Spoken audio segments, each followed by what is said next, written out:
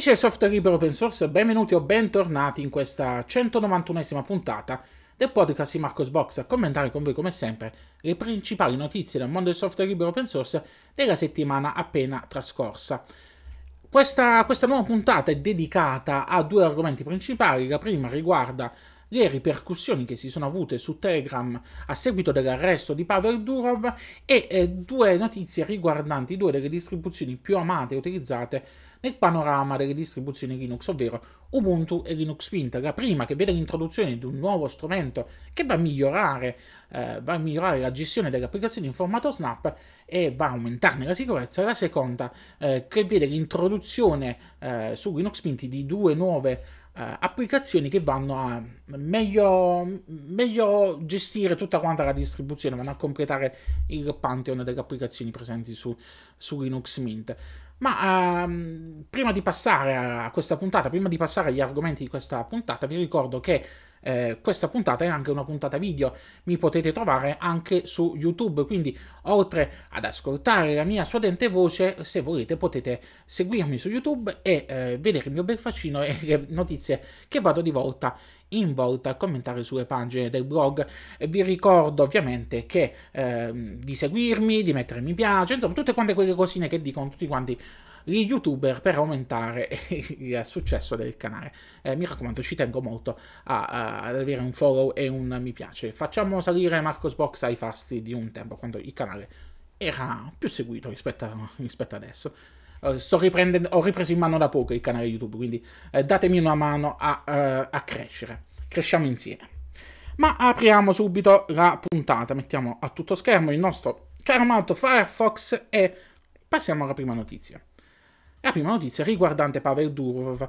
Eh, inutile che vi sto qui nuovamente a fare tutto quanto il solito, eh, il solito discorso su Pavel Durov. Inutile che vi sto a ridire il mio pensiero sull'arresto di Pavel Durov. Eh, il mondo si è diviso tra persone a favore e persone contro. Eh, e personaggi divisivi come Pavel Durov, come argomenti divisivi come questi, eh, creano opposte fazioni, creano eh, creano due schieramenti. Sempre così succede per, questi, per queste notizie. Quindi ci sta. Anche sulle, sul canale Telegram di Marcos Box dedicato alla community vi siete un po' scannati, in, vi siete divisi in due gruppi. Eh, al di là di tutto quello che significa l'arresto di Pavel Durov, al di là del, del mio pensiero personale eh, sulla vicenda, c'è di concreto che Pavel Durov è stato costretto ad iniziare ad apportare alcuni miglioramenti e modifiche al software in modo tale anche da, secondo me, poter addolcire la, poter addolcire la sua eventuale condanna. Queste modifiche sono due modifiche piccole per adesso. Vedremo poi nelle prossime settimane se verranno introdotte altre, altre cosucce più incisive. Che cosa, che cosa ha annunciato Pavel Durov? Beh, la prima cosa che ha annunciato è che verrà rimossa la funzionalità persone nelle vicinanze, una funzionalità che, secondo Pavel Durov, veniva utilizzata da meno dello 0,1% degli utenti Telegram. Effettivamente eh, ci, ci, sta che una funzionalità del genere non veniva utilizzata perché era abbastanza nascosta, cioè, dovete andare a attivare, eh, a attivare voi a manina, eh, quindi non era una funzionalità preattivata, non era una cosa che veniva tanto pubblicizzata, quindi ci sta che non veniva utilizzata dagli utenti. Però a quanto pare veniva utilizzata eh, da bot, da truffatori che utilizzano questa funzionalità per eh, attività illecite.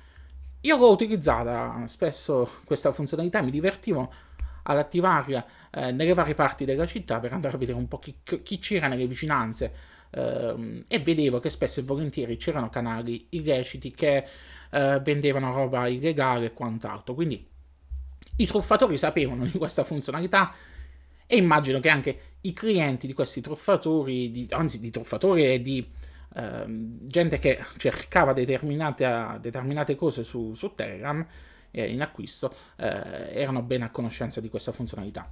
Eh, ben venga che venga rimossa a questo punto, anche perché era una cosa molto, molto inutile. Fra l'altro poi mi è stato anche detto in un commento su, uh, su Mastodon uh, che questa funzionalità poteva essere utilizzata addirittura per triangolare le persone. Devo approfondire un po' per, ehm, per questa cosa, perché a questo punto è molto inquietante. Vabbè, fatto sta che, eh, come dicevo, eh, anzi, anzi, è stata già rimossa, perché nelle ultime versioni di Telegram, sia per iOS che per Android, non la vedo più, e al suo posto arriverà una funzionalità, immagino anche per fare cassa, chiamata eh, Business Nearby, che metterà in mostra attività commerciali lecite, legittime e verificate. E queste attività commerciali che vorranno utilizzare questa piattaforma di Telegram potranno mostrare i cataloghi dei prodotti che vendono e eh, eh, Pavel Durov ha utilizzato questa frase accettare pagamenti senza problemi. Non so che cosa vuole significare una cosa del genere. Microtransazioni in arrivo su, uh, su Telegram. Boh, vedremo che cosa, eh, che cosa bolle in pentola. E inoltre è stato disattivato il caricamento di nuovi contenuti multimediali su Telegraph. Telegraph è uno strumento di blogging presente su Telegram, uno strumento di blogging autonomo che effettivamente anche dal punto di vista, anche io personalmente non ho mai, mai approfondito, non ho mai utilizzato, io mi limitavo a utilizzare Telegram per il canale e per parlare con alcune, alcuni amici che, che sono su Telegram che a quanto pare anche questo strumento veniva utilizzato impropriamente da attori anonimi, così come è stato detto da, da Pavel Durov. Quindi eh, va a togliere queste due funzionalità che potevano essere utilizzate da eh, criminali che con le loro attività hanno messo anche in, diciamo, cioè in cattiva immagine l'intera piattaforma e ben venga che eh, si intervenga su queste cose. Vedremo, come dicevo, che cosa Bogo in pentola su Telegram per le prossime settimane se verranno fatti altri annunci di modifiche qua e là. Basterà questo a far addolcire la pillola per la condanna di Pavel Durov? Lo vedremo, lo vedremo nei prossimi mesi. Io ritornerò sulla vicenda. E cambiamo adesso argomento e passiamo a parlare di Debian. Debian perché c'è stato il rilascio della versione 12.7 di Debian è una point release, sapete bene come funzionano le point release di Debian e del canale stabile di Debian, sono praticamente i rilasci di nuove ISO di Debian, quindi eh, se voi avete già installato una, una versione stabile di Debian e l'avete continuata a mantenere aggiornata, non dovete fare nient'altro. Se invece vi trovate a installare una eh, versione nuova di Debian, una ISO nuova di Debian, potete scaricare l'ISO aggiornata e questa ISO contiene le principali correzioni per problemi di sicurezza insieme ad alcuni eh, fix per problemi seri. Sulle pagine di Marcosbox ovviamente vi metto il link con eh, le immagini di installazione. E cambiamo argomento, parlando di un argomento che mi sta molto a cuore. Mi sta molto a cuore perché ve ne ho parlato diverse volte sulle pagine del blog, ovvero il problema del finanziare i nostri progetti open source, di finanziare le distribuzioni che utilizziamo. Noi pinguini, sto, facendo, sto prendendo delle pause alla Celentano per, per evitare di dire parole poco convenienti.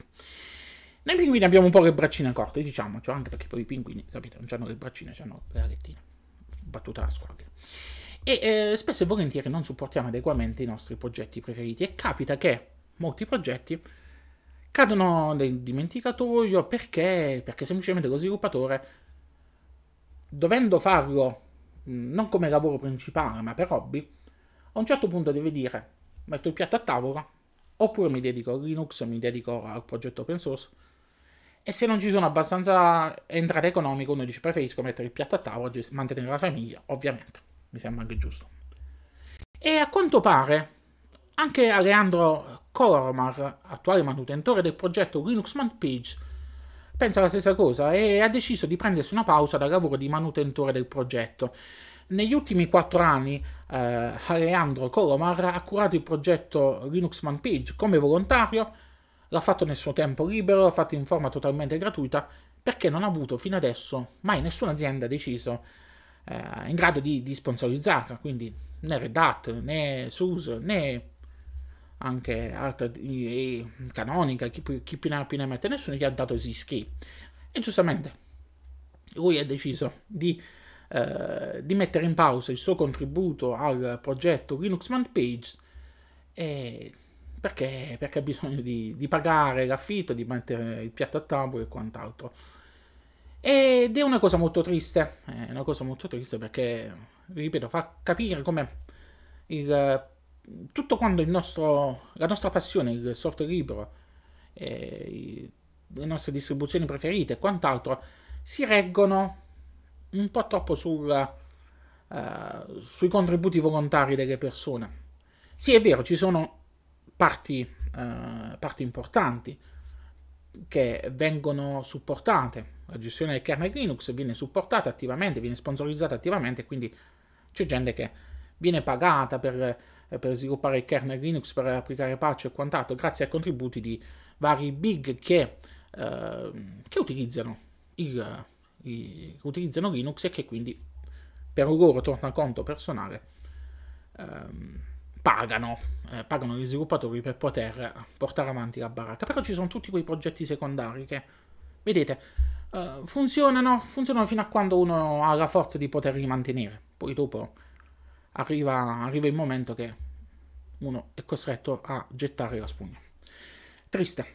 Dovremmo cercare di mettere, che ne so, di fare un una piattaforma noi di finanziamento per, per questi progetti. Noi utenti dovremmo, dovremmo cercare di metterla su eh, in modo tale che tutti quanti questi autori di applicazioni, di, di, di manuali, eh, di traduzioni, di chi contribuisce con le traduzioni, perché ci sono tanti modi di contribuire a un progetto open source. Dicevo, ehm, dobbiamo fare in modo che queste persone possano anche avere un tornaconto economico, possano avere un riscontro economico e magari trasformare questa loro passione nel tempo anche in un lavoro per poter, eh, poterci, poterci, vivere. Bene, eh, magari faccio io una bella piattaforma. Che dite? Riusciamo a, a, concentrarci, a trovare un modo per mettere su una piattaforma di questo tipo?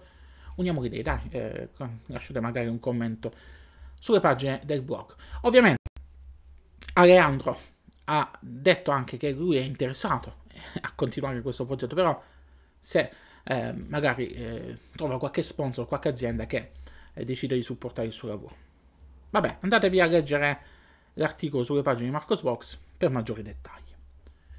E prima di passare alle ultime due notizie della, di questa puntata del podcast di, Marcosbox, fatemi fare una piccola momento reclame, eh, sponsorizzazione sono, sono, diventato affiliato da qualche tempo, da qualche settimana di Geekom. Geekom produce mini PC. Già la scorsa settimana vi ho fatto un articolo al riguardo su un loro nuovo prodotto e questa settimana eh, ci tengo anche a segnalarvi che mi hanno dato un codice sconto personale per Marcosbox che si chiama il codice sconto GK Marco 15. Lo potete trovare nel bannerino che vedete qui eh, sulla destra se mi seguite su YouTube è un codice sconto che vi offre ben il 15% di sconto, quindi se voi acquistate il Geekom 7 con questo codice sconto dedicato ai lettori di Marcosbox lo potete pagare 764 euro anziché 899 euro. Io sto credendo molto in questo, questo prodotto perché ne sento, ne sento, ben parlare da diverso tempo. E, ehm, fino alla fine prenderò uno di questi, di questi mini PC sto seguendo diversi loro prodotti, sto vedendo un po' di, di, di mettere su anche un po' di risparmi per poter acquistare. E voi ci tengo anche a chiedervi una cosa: se voi avete acquistato un computer da Geekom, fatemelo sapere, lasciate un commento, fatemi sapere che cosa ne pensate di questi prodotti a livello di, di prestazione, ma soprattutto a livello di eh, gestione termica, come vi trovate, ma in particolar modo ci tengo a sapere da voi, visto che. Ehm, se l'avete acquistato per installarci la vostra distribuzione Linux preferita, ci tengo a sapere da voi come sono a livello di supporto hardware. Eh, montano comunque componenti che non dovrebbero dare problemi per noi, per noi pinguini, però non si sa mai. Fatemi sapere, lasciatemi un commento sulle pagine del blog o qui in calcio al video parlandomi dei vostri acquisti eh, di prodotti della Geekom. Eh, magari se avete anche segnalazioni negative ditemelo che vi faccio io da portavoce nei confronti di Geekom. Magari cerchiamo di, di risolvere assieme anche eventuali problematiche. Ripeto, eh, GK Marco 15 per ottenere il 15% di sconto sui prodotti.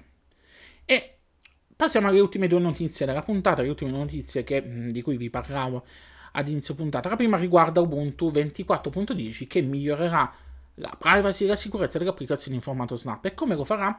Lo farà grazie all'introduzione di una nuova applicazione che va a consentirci di andare a modificare le autorizzazioni delle varie applicazioni in formato Snap.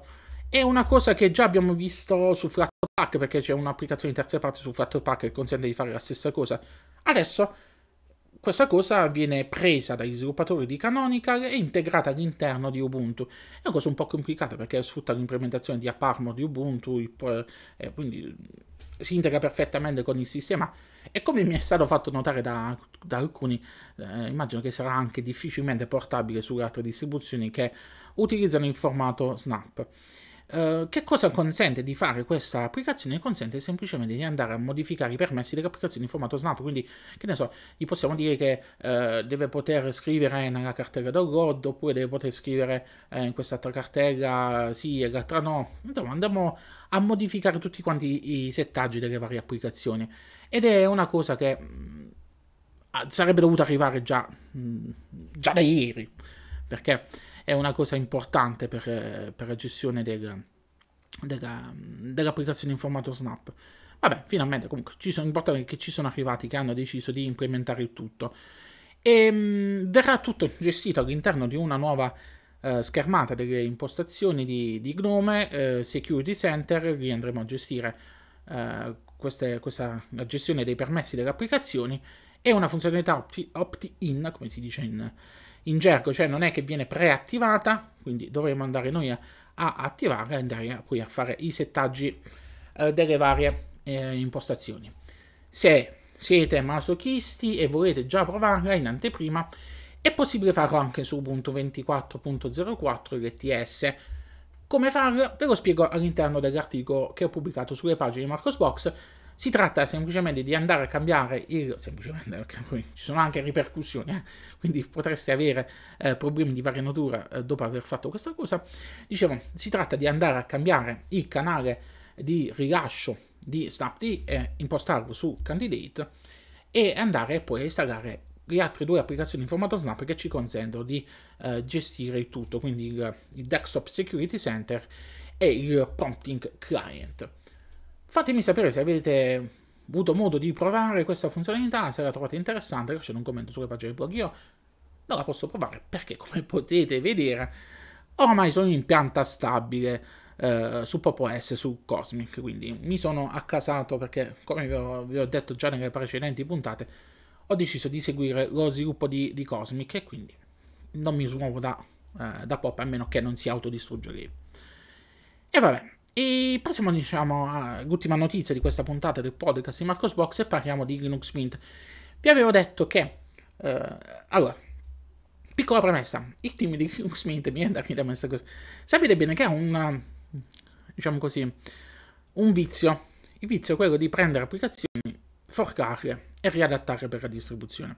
Lo fa anche eh, delle volte a fini utili, perché magari eh, abbiamo visto tutto il filone dei XApp, hanno deciso di forcare perché eh, erano applicazioni che non erano compatibili con tutti quanti i vari ambienti desktop di Linux Mint, che non, erano, non si integravano bene, quindi hanno deciso prendiamo una versione, la forchiamo a un certo punto e la andiamo a mantenere noi in modo tale da, da renderla supportata, compatibile e migliorata.